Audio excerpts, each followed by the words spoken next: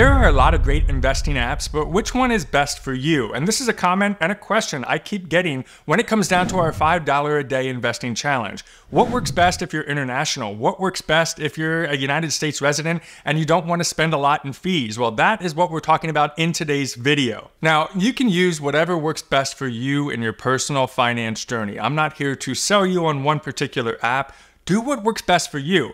But I'm going to give you some qualifications, and these qualifications are things that you should look at before you decide to jump into an investing app or a brokerage, or before you decide to jump ship to maybe a different investing app. Here are my four qualifications. Qualification number one is you should look for an investing app that holds commission free trades. Let's say you go out and you want to buy a share of Apple, or let's say you want to go out and buy an index fund like VOO or SPY that tracks the S&P 500. What you don't want is the old school thing of a commission fee. It's basically a brokerage fee that goes in and they would charge you for executing the trade. So let's say you only want to invest $5 into a particular share of stock. What you don't want is back in the day, you would have to pay an additional for me. It was $9 in commission just to buy a share. Well, that's kind of pointless. I'm putting in five and I got to pay you $9 to make it happen.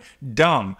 Look for investing apps with commission free trades. Number two, look for investing apps that give you the ability to invest in fractional shares. This is the new thing, the exciting thing, and it makes it easier. So, for example, VOO, going for over $400 a share. In the past, if you wanted to buy into VOO, you had to save up whatever the share price was at that particular time that you wanted to buy in. So, today, if it's $400 a share, and you only have $5 to invest, how the heck are you going to invest? You can't. Now you can. If you get an investing app that allows fractional shares, which means you put your $5 into VOO and then it will grow. Your $5 will grow as the price and the overall performance of that particular fund that you buy into grows or falls or whatever. Number three, look for an investing app that does not have a monthly service fee. I don't think that that is necessary in the day and age that we live in. There are plenty of apps that are easy to use, easy to get started. And then once you're in there, you don't have to worry about paying a monthly fee. Like, what's the point of that? If there's other ones that are free, why go to the one that's going to charge you? To me, I don't see the added benefit of that. They're not giving me anything more than the free apps are giving me. And number four, of course, you want to find something that's relatively easy to use. Depending on your skill level and how much you're interested in investing, if you just want to say, I want to grow my money and I want to come up with a consistent plan and not have to stress out and worry about it, find something that's easy enough to use, that's not overcomplicated, that you can set and forget. Now, that brings us to the next biggest question, and a question I get often on the channel what about if I'm international? So let me run you through some of my top favorite brokerage apps. Some of them do have affiliate links in the description below. Anything I talk about that has an affiliate link, I personally use. I actually use a lot of different brokerage apps for a lot of different reasons, but also you'll get free stocks or some type of added bonus simply for signing up. So it's my way of thanking you. So let me start off with my top three favorite investing apps, and then we'll move on to some international options that you have as well if my top three do not fit where you live right now.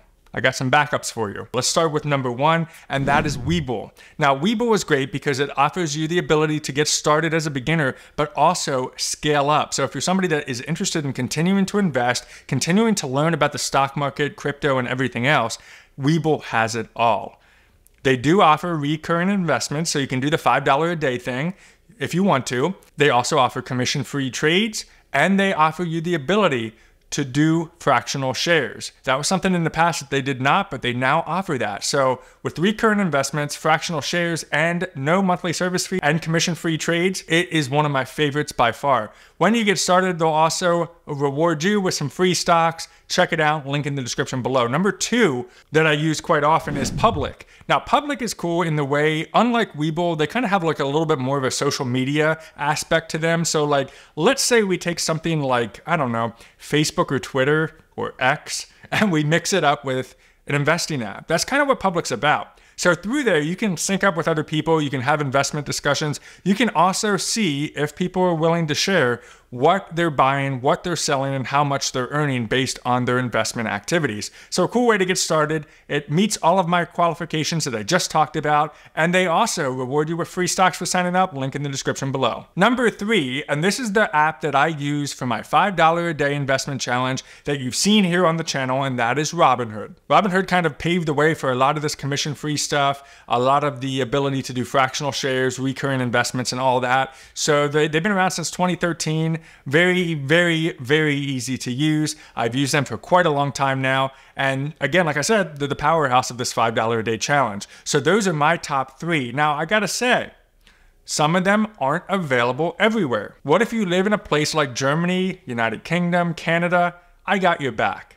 Now, one of the biggest ones that seem to service most of Europe, United Kingdom, and other areas such as that is interactive brokers. Now, I have not used this app, but I've heard from a lot of you who are international and you absolutely love this app. So, disclaimer I do not have any type of relationship with interactive brokers, but they allow recurrent investments. They do allow something that could help you with the $5 a day challenge. Just make sure you go over there and make sure do they actually apply to the country that you live in? And if they do, do they meet the four qualifications that we looked at earlier? Interactive brokers is something that I would look into. If not, here are a few other options for you. Do you live in Germany? If so, there's an app called Scalable Capital that is meant specifically for Germany. United Kingdom has an app called Freetrade. Europe, you can use something like eToro for your stock market and crypto market investing. Canada, Wealthsimple, and Australia, SelfWealth. So if you're stuck on where to go and, and what kind of app to use, check those out. Just make sure you're not paying unnecessary fees that you don't need to if there's another investing app that works in your country that would save you money over the long term. If this video was helpful, drop me a comment down below and I'll see you on the next video.